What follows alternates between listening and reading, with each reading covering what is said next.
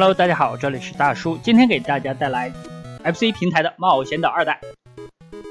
二代的关卡仍然是八大关，实际上是八个岛屿。那二代相对于一代来说有了长足的进步。首先，它的关卡数更多了，而且呢，加入了分支路线的要素，并且加入了一个非常成功的恐龙系统。这个恐龙系统一直保持到后面的作品当中。第一关咱们就可以收集到一条龙。这个龙叫冰龙，但看它的攻击方式，大家都知道，小的时候都管它叫什么龙啊？好的，过了第一小关，第一大关一共大概八个小关，但是呢，这次给大家录制，我走一个最短的路线。那选择最短的路线，就要涉及到奖励关卡了。奖励关卡看起来呢是碰这些蛋，然后呢得到分数。但实际上，不同的蛋它代表了不同的分支路线。这里我就选择了第四枚蛋，咱们捡到了一个无敌。选择第四枚蛋来到的这一关呢，有一个跳关，可以直接把第一大关第一个岛跳过去。可能很多小伙伴玩了好多年的冒险岛二代啊，还不知道有这个要素存在。可以了，这是隐藏的一个蛋。咱们遇到了长城翼龙，它可以把咱们带到下一个岛。这样实际上咱们第一个岛就打了一关半。那如果你全打的话，要打八关。第二个岛就没办法都跳过了。咱们至少要打五关左右。但实际上第二个岛最长的路线可以打八关。这个青蛙，哎，这个颜色的，咱们直接冲过来就好。但我相信玩过这款游戏的小伙伴，小的时候应该不止一次被这个青蛙逼到过角落里。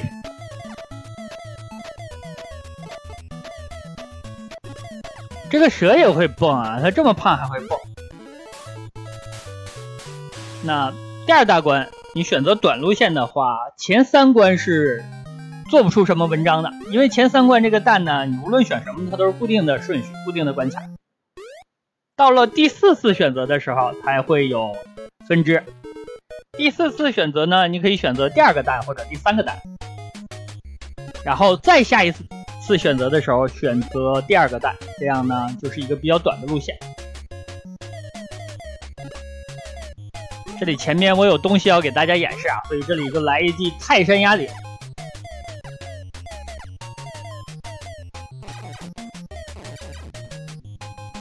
这是一个奖励关吧。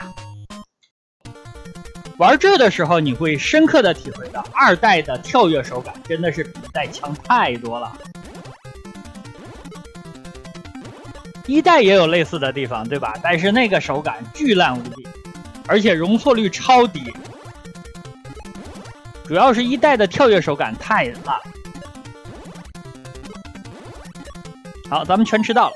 后面仍然有这样的关卡，但是呢，咱们就不完全演示，因为这次给大家录制呢，咱们主要就是走一个最速的流程，走一个最速流程也要四十分钟左右。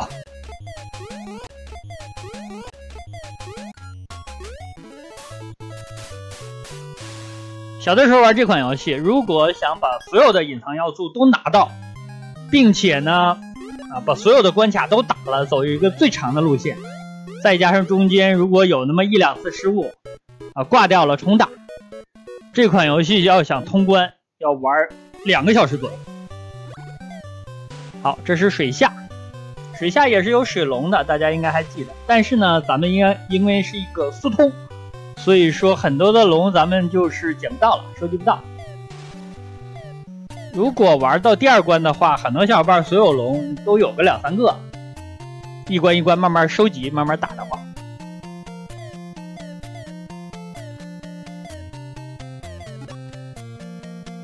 水下的关卡也是二代新加入的要素，一代是没有水下的，并且别看这个水下关卡是二代新加的，但是二代在水下的手感还非常的舒服。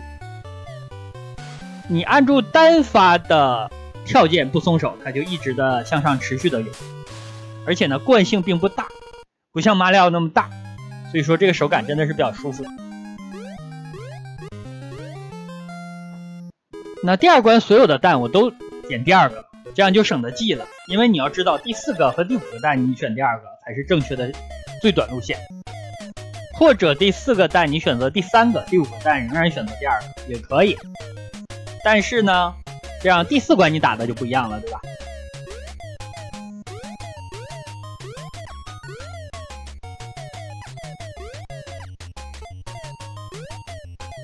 这里好多小白猪。并且它这个道具系统做的也比较成熟了，你的道具能存起来。哦，刚刚的这个蛇看起来是要想要吐东西，随着它一顿颤抖，在它出来之前就把它干掉了，对吧？这个电光石火之间啊！啊，两千分这蛋里边应该最高的奖励是奖命。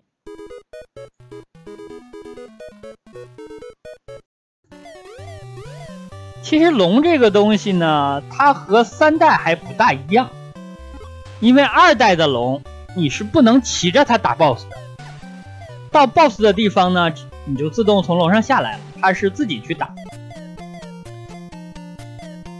好处呢是它不会挂了。并且呢，它可以给你吸引 BOSS 的火力，但不好的地方就是它不受控制了，你无法快速的利用龙把 BOSS 干掉。心一利必有一弊吧。冒险岛的话，我给大家录制过一代、三代、四代，那这回终于把 FC 上的二代补齐了。冒险岛的话，如果按当年在 FC 上的热度啊，咱们只说热度啊，嗯，三代和一代应该是玩的最多的，因为三代还加入了恐龙系统，更加成熟了嘛，所以说三代非常受欢迎。一代的话，玩过的小伙伴也不少，当年有一代的盒卡是非常多的，但是能通关的小伙伴比较少，一代的手感太硬核了。其次呢，二代比一代和三代的热度要差一点。那最差的就是四代了，对吧？四代呢，加入了很多 RPG 的要素，嗯，自由度也更高，但是呢，它出现的时间实在是太晚，九三年还是九四年才出来，就是 PS 都要发售了。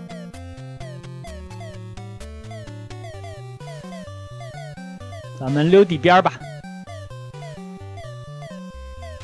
啊，其实如果你用翼龙的话。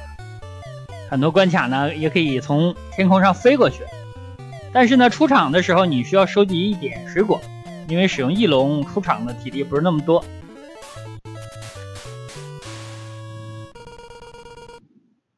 第二关的 BOSS 战，那在水下的关卡骑水龙移动还是比较迅速的，而且呢不怕这个泡泡，因为你人形形态如果碰到泡泡，你就被圈在里边。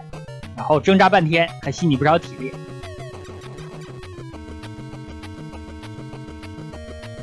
但是呢，你使用水龙也是有一个缺点，就是它的面积太大。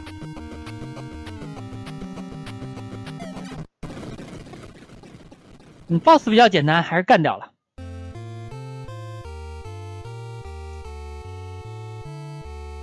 这样，咱们去第三关。第三关也是有一个跳关点的。开场的第一小关打完，咱们捡第三个蛋，然后就来到了有跳关点的关卡。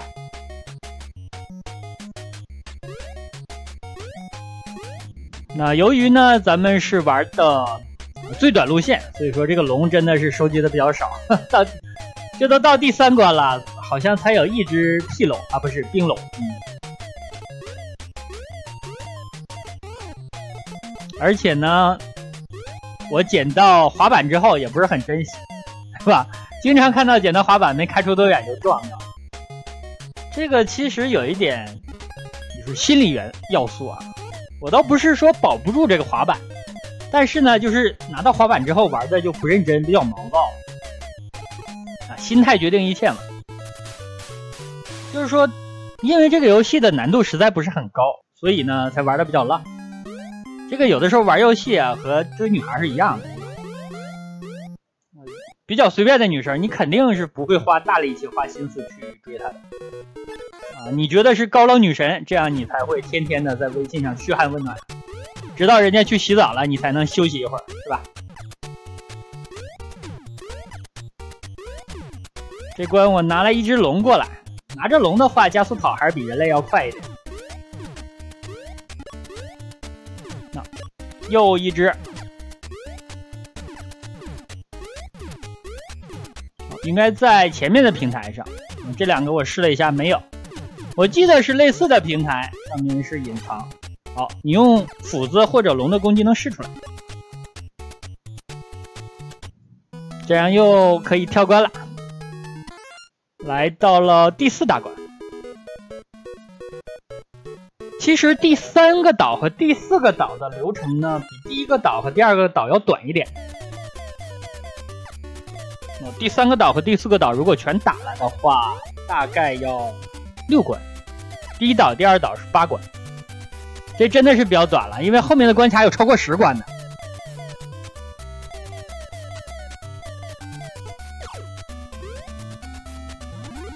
啊，又捡到冰龙了，龙咱们也没注意收集。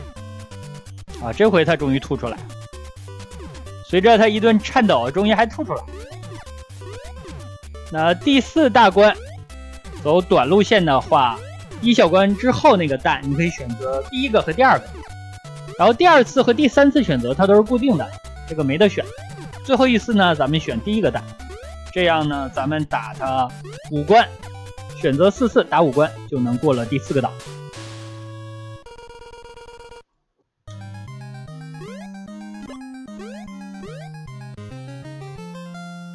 第四个岛呢，我选关仍然是选择了一个偷懒，就是所有的蛋咱们都拿第一个就成了，不用记了，你也不用记第一个和第四个蛋你拿第一个。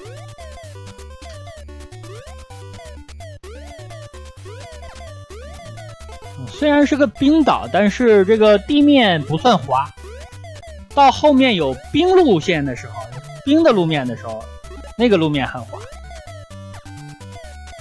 哇，这个可以一次射两个子弹，这这个厉害，这个这个身体好。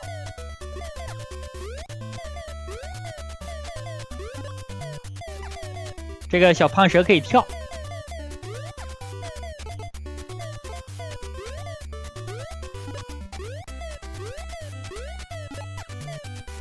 别冲的太快。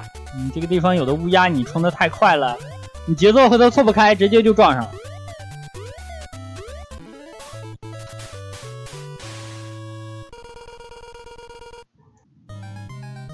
这里仍然拿第一个蛋，最少好像是给五十分。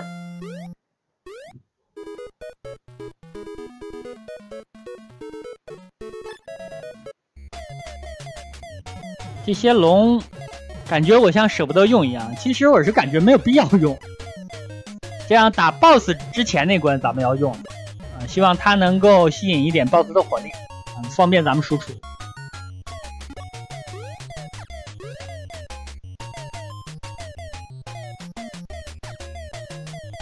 游戏的画面看起来比一代也进步很多了，和三代和四代区别已经不大，但是背景上能看出来比四代要糙一点。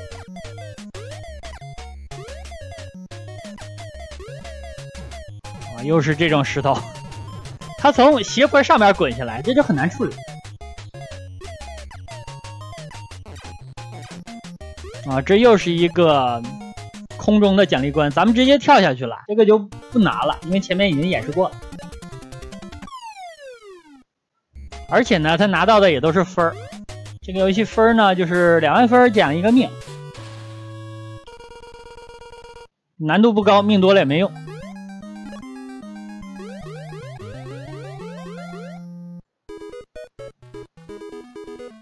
快了，向着 BOSS 前进。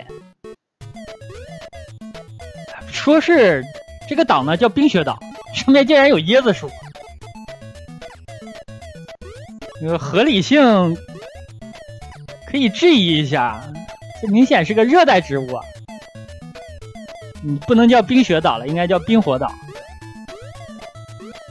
啊，没准往前走能遇到张无忌。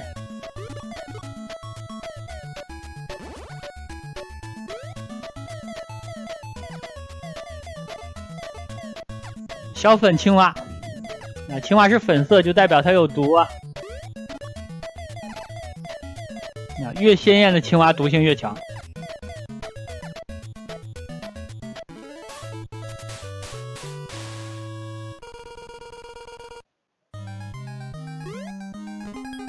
一千分啊，这个分还比较多。行了，这里就是 BOSS 所在的关卡了，咱们骑一只龙。而且呢，这关是冰雪的路面，骑龙主要也是为了扛一下这个地面的效果，但实际上我感觉有点扛不住啊。这个游戏难度体现在哪呢？就是上面的这个冰锥，它掉下来的时机啊，对，离你很远它就开始往下掉了。那其实如果想难一点的话，它可以设计成。你加速冲过去的，正好落到你头上，那个节点就让你很难受了。这个冰锥还比较好躲，小心一点就万无一失。哦，这个大坑有点大呀。好的，BOSS 战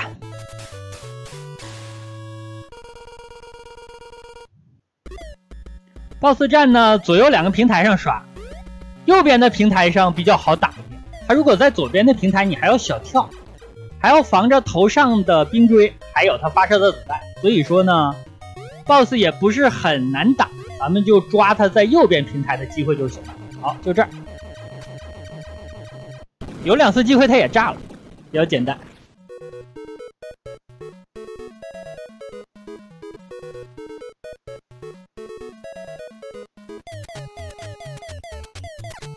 第五个岛屿是最后一个存在跳关的关卡的地方，后面的六七八三关都需要打。第五关可以打两个小关，这是最短的路线了。那如果最长的路线，起码要打十关左右。所以说这个流程长度，大家就可以权衡一下。把这八个世界都打完，真的需要一个多小时，两个小时。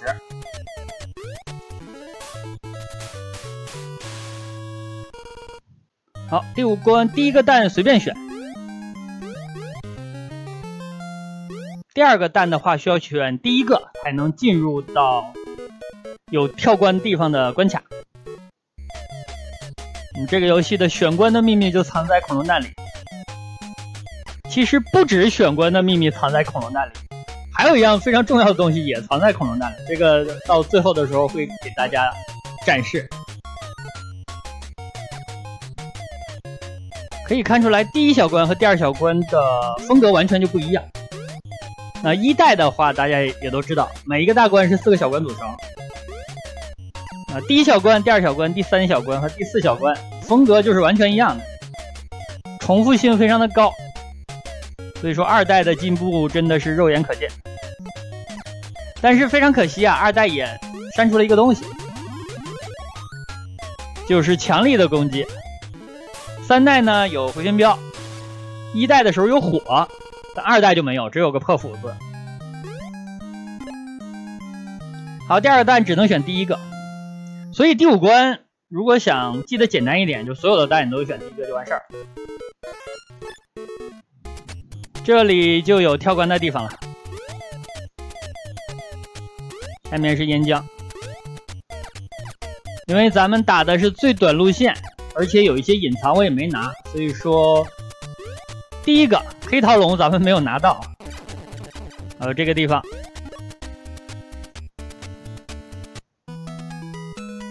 长城翼龙，这样可以直接飞到第六个岛。第六个岛看起来云比较多，犹豫了一下，最后还是决定不拿龙。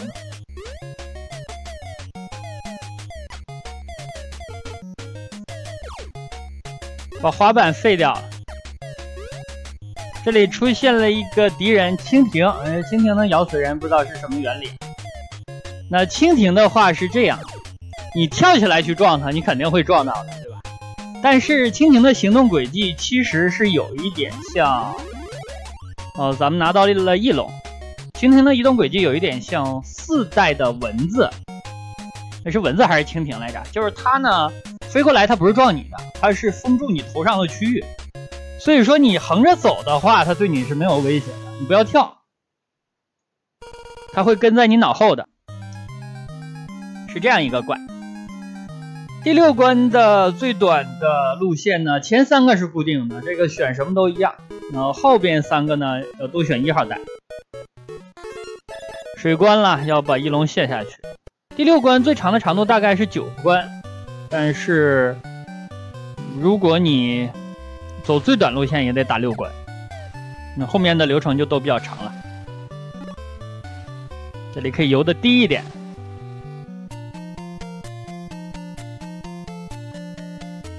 从下面走。水关的话，全程我记得只有一关比较难，其他的地方还是比较简单的。但是水关我并不使用水龙，因为骑上水龙之后目标太大了，走这些空隙的时候就显得很费劲。那水龙的优点呢，也就是速度方面有一点优势，而且呢，它不怕泡泡。但是本作的水关里边并没有几个泡泡，而且泡泡也不致命，它只是把你困在里边。如果你体力充足呢，也不用怕。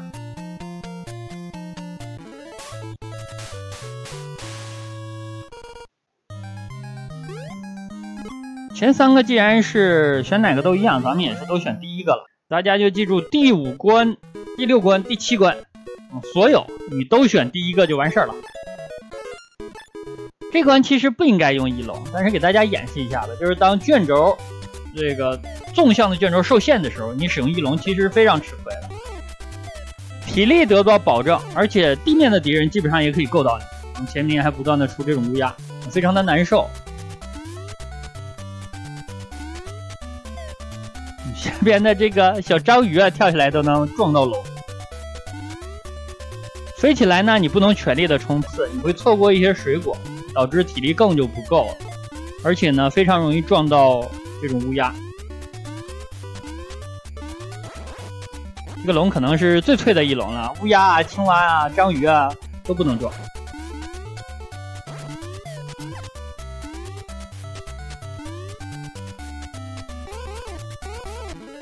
好，这一关就算飞过来了吧。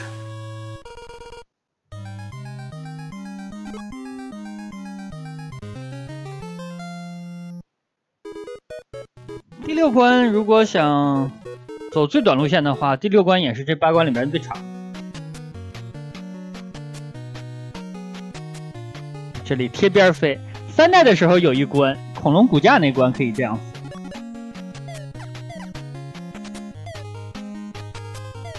虽然他这回呢卷轴不受限了，但是呢前方会在你正前方刷这种云，也会撞到你，所以说没必要飞得太高，在下面离水果近一点。好过关，每小关的关卡流程不长。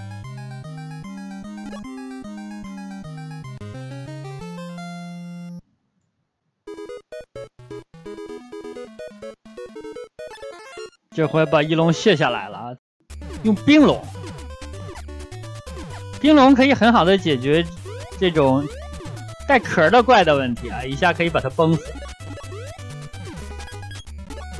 啊，崩出一瓶牛奶。这关主要考考验你的跳跃。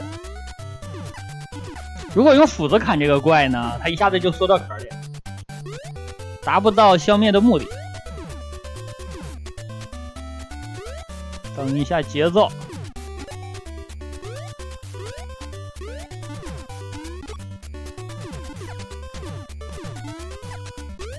冰龙其实有一个算不上缺点吧，就是它的脚特别滑，加速跑的时候非常难收住，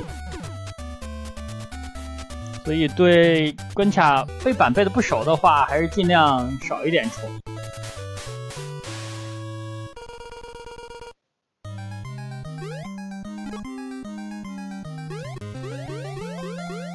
烫脚，地面烫脚。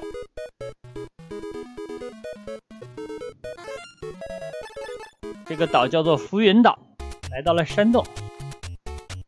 这个山洞用飞龙是最简便的，但其实这关并不难。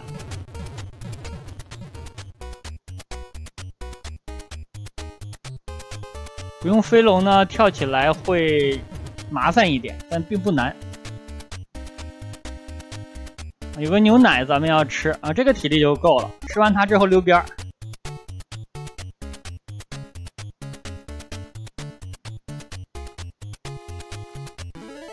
过关。这里仍然要选第一个蛋。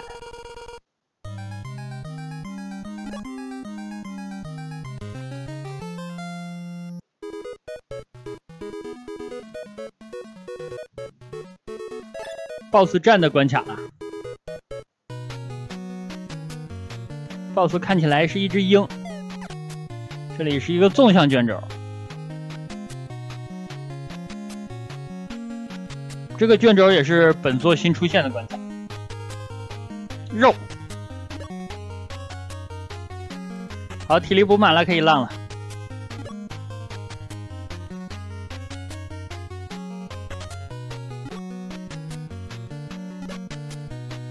到地方了，这里就过关了。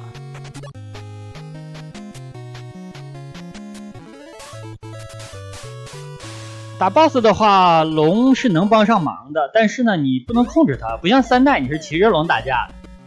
二代打 BOSS 呢是从楼上下来，这个 BOSS 极简单，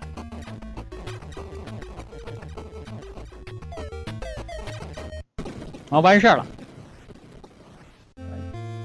虽然简单，但是呢，作战的思想也是尽量的输出，不要夜长梦多。好，来到了第七个岛。这七个岛也有八关，火山岛，嗯，起码呢，咱们也要打四关。这里又选择了翼龙，那这关的跳跃元素也比较多啊。这个小章鱼蹦的还是很高啊。菠萝、葡萄，游戏而已，没必要深究当时有没有菠萝和葡萄啊。而且你也不要问为什么它挂在空中。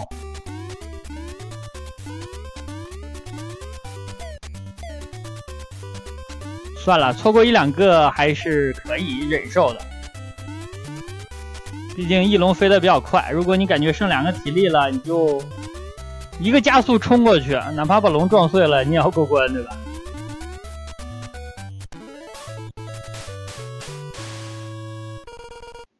嗯，普通的小伙伴打到这的时候，可能都八九个翼龙了吧。如果前面尽力收集的话，嗯，后面的关卡其实资源不多了。刚刚的蛋随便选，嗯，这家伙又啊颤抖了半天，然后来一发，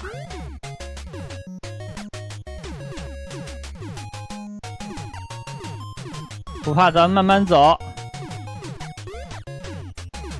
你蜻蜓可以照顾一下，不照顾呢，你就往前走就行了，它就停在你脑后了，无所谓。对，就像这种啊，它就停在你上面了。只要你不跳就没事儿，但是你跳一下子就把龙撞没了。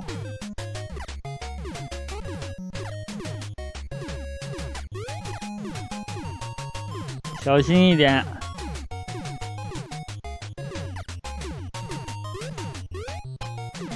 刚才这脚我感觉差一点没刹住。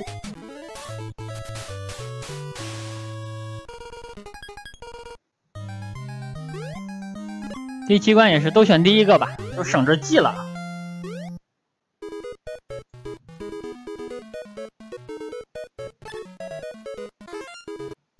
这里把龙卸下来了，因为这关给龙。第七关开始，游戏你会感觉到一点难度。但这个难度和一代啊相比还是弱一点。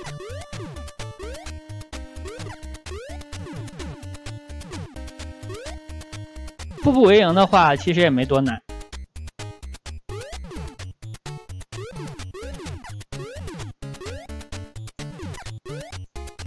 考跳跃的地方比较多，我嗯，注意这个骨头做的平台。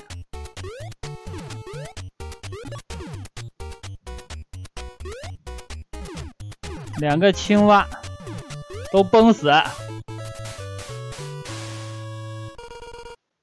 这小时候曾经试验过，就是火堆，嗯，想用 想用冰龙把火堆给崩灭，发现崩不了。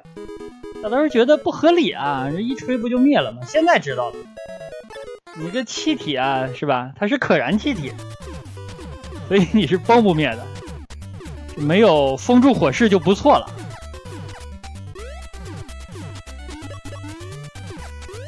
这里也是跳跃，而且有这种甲壳类的怪物，所以说呢，还是选择了冰龙。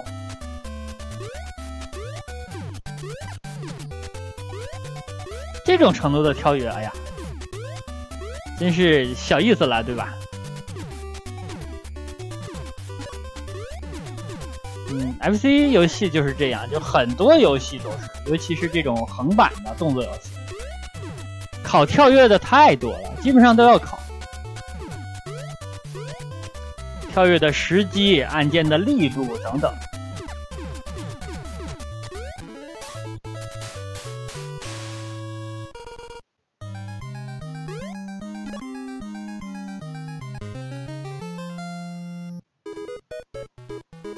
好，来到 BOSS 出了。这关有难点，这关的难点在于两点，第一点是体力，第二点呢就是这个火山爆发。第一个火山呢，你可以通过节奏冲过来，那后面呢，你每次玩到的时候节奏不太一样。这个要怎么办呢？啊，这个地方是一个安全位，对，然后这个地方是一个，就是地面的火山，两个是安全位。刚刚这个地方是一个茄子怪，对，就吸你体力的那种。所以说，这关的难点在于体力和火山，算是从第一关到第七关最难的关卡。但只要把那个茄子怪避开，然后火山的节奏掌握对，就完事儿了。好，打 BOSS。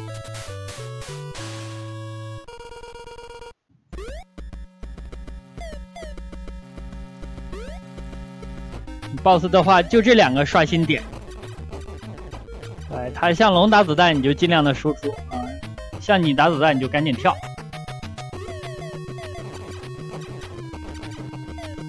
红了，已经红了，这是个蝎子还是小龙虾呢？好，打完，他的子弹过来，我已经决定落下来回头再跳一下躲了，结果他已经挂。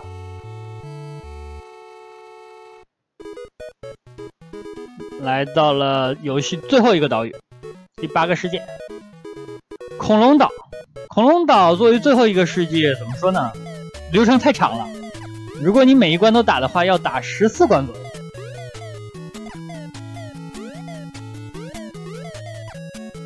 出现了新类型的敌人，这个企鹅呢，最开始遇到会比较难。它每次跺脚，天上会掉下来三个冰块来打你。如果冲的比较快，非常容易撞到最后一个。但是呢，它是有节奏的，就是它跺脚那一下，会在你头上正中间的位置下来一个冰块，然后左右各一个，这样你就等它跺脚那一下之后往前走一步都能躲开。还是观察规律，总结方法。第八关如果短一点打的话不长，咱们选四次弹就可以了。八关呢有三种路线都比较短，选弹的时候呢，二幺三三、二三二三、二三三二这三种选择都会比较短，咱们就来二幺三三了。啊，如果每一步选的都是最长的那个弹，那要打十四关左右。这个十四关简直了，有一点，嗯，短的关卡两关都没有它长。这是第八关的水关这个水关你会感觉到一点难度出门的那个家伙呢就给你一个下马威。掌握不好节奏他的子弹会把你的进来的路线全部封死。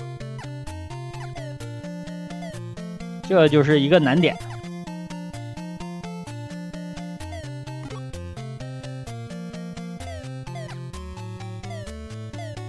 一个斧子啊这个要吃。远处可以看见沉船。嗯，咱们也不知道远古时代为什么会有沉船的存在，而且那么大，看起来很大呀。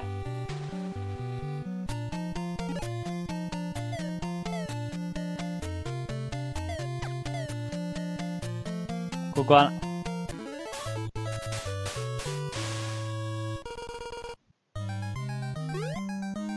二幺三三，这个要记着点。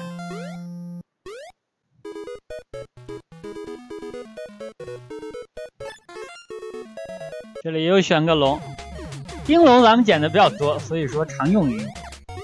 啊，万一挂了一两个也不心疼。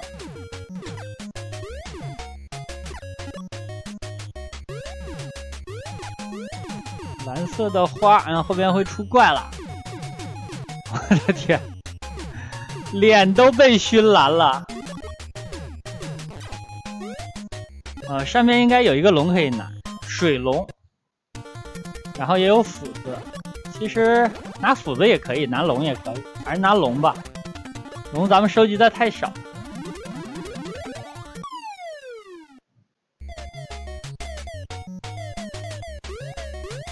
这龙在地面就感觉没什么太大优势。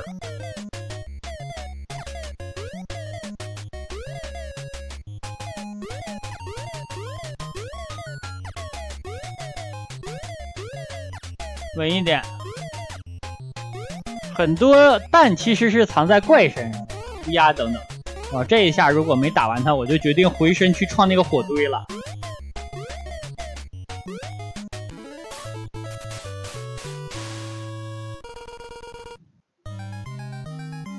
第三个蛋，奖命，咱们多少条命了？我看一下。好，再选一个三号蛋就完事儿了。这里同样，咱们裸裸游，裸泳，不拿龙。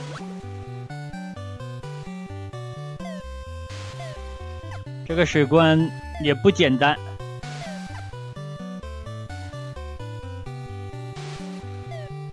哦，就这个怪，看它的位置啊，它完全把那个地方可以给你封死掉，所以你要通过走位来控制它子弹的方向，找到一个间隙，然后过来。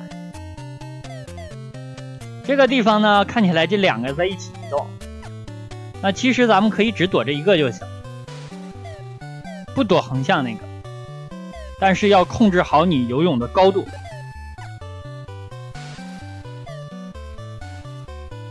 这个游泳高度其实还是好控制，按住单发就可以，它就一直往上游，幅度也不大。哦，没 没有体力了，剩两格了。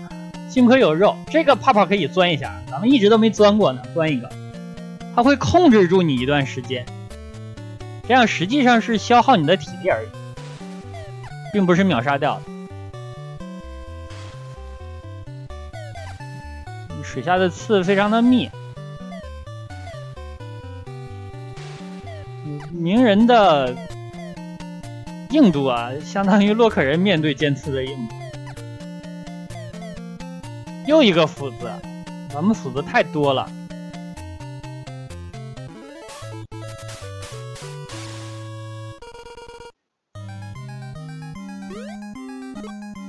一千分好，这是最后一次选蛋了。那之前我也提过，除了选关秘籍之外，还有其他的重要东西隐藏在蛋里。过了这关，咱们就可以看见。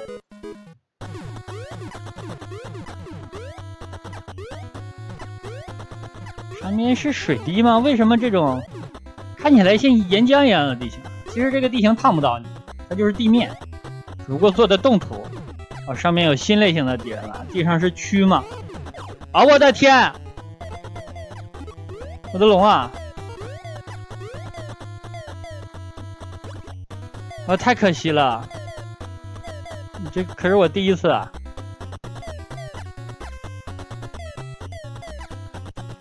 好吧最后一关了无所谓了对吧？再说这里是水龙可能下不了这个水。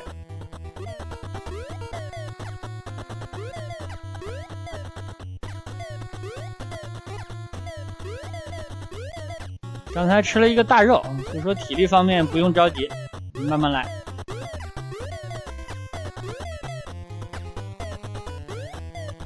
敌人突突然出现了蛆。清完再走，不急。好，最终 BOSS 出现区呢，就暗示 BOSS 是一个什么玩意儿，大家可以看。好，现在看呢，它是一个大虫子，等一会儿它是会变身的。现在是一个茧的状态。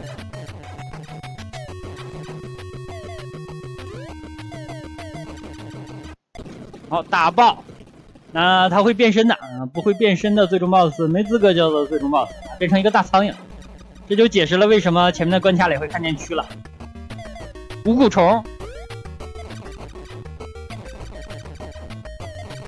裹上面粉油炸，隔壁老八都馋哭了。哦，真的抗打，他刷新的地方就比较多了，四个地方，你要追着他打。同时呢，要保证自己不被他的子弹打到，不被下面的尖刺扎到，不被上面的水滴滴到，狡猾，也要小心。好，打爆，这样通关。好，蒂娜竟然藏在了蛋里啊！所以为什么叫蒂娜呢？不如叫诞生。那好吧，这样一款 FC 平台的冒险岛二代就给大家录制到这。好，感谢大家收看，咱们下个游戏再见。